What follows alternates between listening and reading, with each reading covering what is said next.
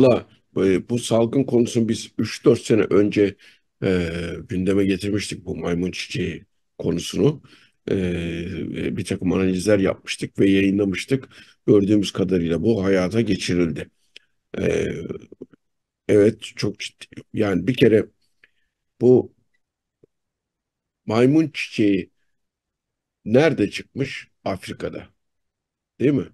Evet, Peki e, göçmen, düzensiz göçmen ve sığınmacı akınları Avrupa'ya, İngiltere'ye ve Amerika'ya çoğunlukla nereden geliyor? Amerika'ya, Meksika ve onun haricinde değil mi? Meksika'nın haricinde.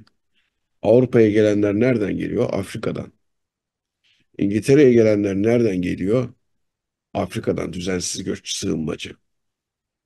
Şimdi dolayısıyla e, bu sığınmacıların gelmesinin önlenmesi için de çok iyi bir gerekçe bu maymun e, çiçeği. neydi? Maymun çiçeği hastalığı. Maymun çiçeği hastalığı var. Çok sert önlemler almak zorundayız. Yani bu işte e, insani mi insani filan bilmeyiz biz. Ve Afrika'da savaşlar olsa da biz alamayız. Çünkü bizim insanlarımızın sağlığı önemli diyecekler. Aslında bu bir bakıma hem nüfus kontrolü açısından önemli hem de sığınmacı akınlarının durdurulması açısından iyi bir gerekçe. Şimdi fakir Türkiye'de durum ne? Türkiye'de durum çok kötü. Çok kötü.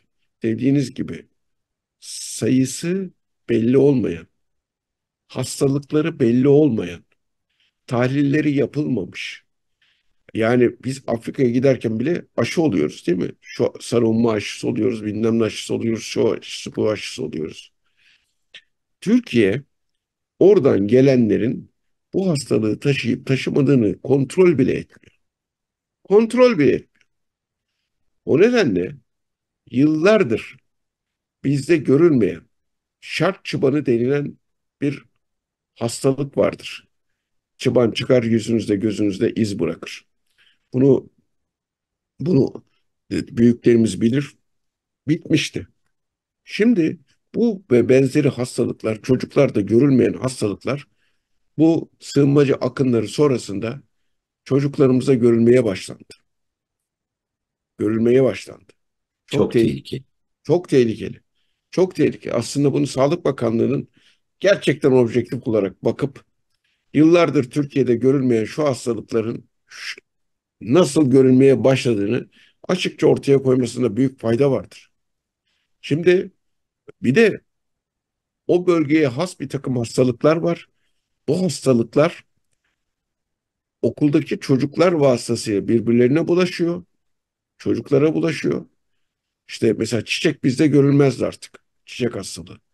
Yani çiçek aşısı olurduk biz. Şimdi olmuyor ki. Olmuyordu kimse. Şimdi yeniden görülmeye başladı. Evlilikler yoluyla bir takım genetik hastalıklar oluşmaya başlıyor. E, genetik geçişli hastalıklar oluşmaya başlıyor. Durum hakikaten tehlikeli. Bu maymun çiçeği hastalığı gerçekten Türkiye'de yayılma riski çok fazla. O da bu sığınmacılar nedeniyle.